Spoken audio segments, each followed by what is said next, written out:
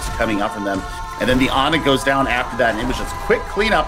Resignations and Witty Wave really uh, clutching out in the DPS department for SM, and they've got first capture crossing 15%. Ultimate's coming up online already. You're going to have Deadeye, and look, we've got Dragon, uh, Grab Dragons Ooh. available for that test. Oh, and they're gonna waste no time in committing it. The Graviton comes out. It was there, but it's not gonna get any. So excited. Thank you so much, Cybjorn. Living up to the oh beautiful strats from Warrior Esports. They're gonna go ahead and teleport directly on the point.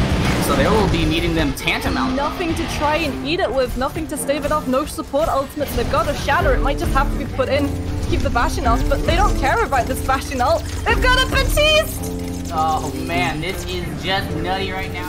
This is not something that you want to push in on, but it's going to be the bomb and the charge into Mansion picks up three! All of the three that you want, the Reinhardt, both of the supports, and this is the fight done already. Frost Here Dragon it comes.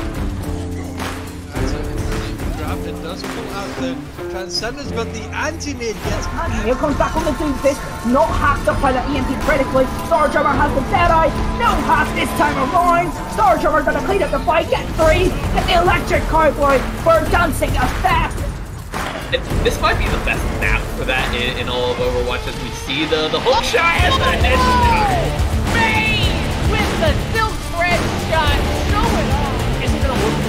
Really well against the Ghost Con. Far as finding people finding yeah, or you're not gonna get through the I love watching teams that I haven't seen play before play. It's always thrilling. Round one. It really is. It's it's Objective. wild cards. You know, uh, it's something you don't get to see at the higher levels. You know, everybody's you know at least been seen usually at lower level matches. So this is always a fun experience.